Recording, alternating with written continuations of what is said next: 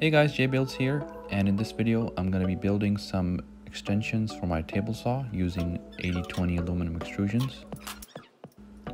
I'll post a link in the comments to the design that I used and all the parts, uh, but in summary I used 8020 15 series profile just because that uh, was the thickness of my table saw top, which is an inch and a half, so the 15 series worked out perfectly. Um, and I using the double anchor connector fasteners here that you can see that you tighten using the Allen keys. And they provide the strongest connection um, so that was my go-to connector to use.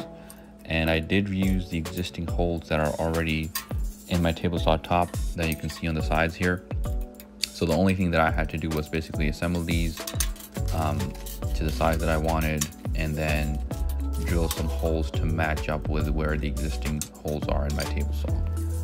Now one side I made uh, about 14 inches long and the other one uh, about 12 inches long. And that's just my personal preference. If you guys decide to do, you know, go this route, you can always get your extrusions cut to whatever size you want. So that's really the biggest um, positive factor in, in using this these profiles that you know you can customize it to any size that you want and provides a really strong foundation and, and base for, for an extension.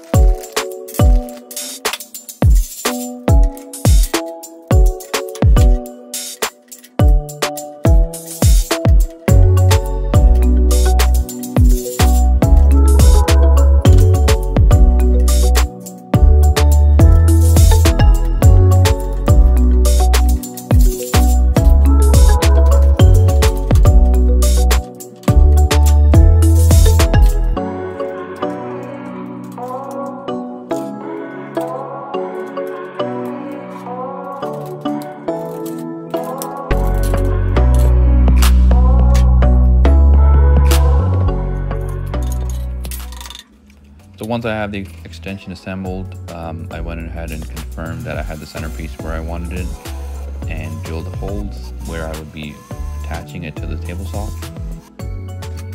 And I'm going with 5 16 inch bolts uh, that are long enough so I can tighten it from both sides.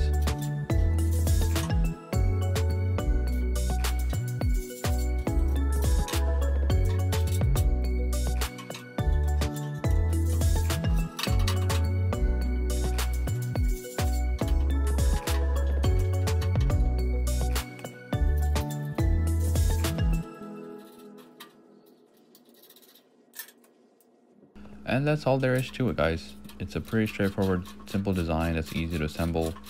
Um, and like I said, very flexible so you can design it to whatever size you need. My plan is to use the right one. Um, I'm going to design a router lift for it so I can use my fence uh, with the router. And then on the left extension that I assembled, my plan is to eventually design some sort of a uh, sliding mechanism and use that as a sliding miter sled. So make sure you like, comment, and subscribe, and stay up to date with all my future videos. Thanks for watching.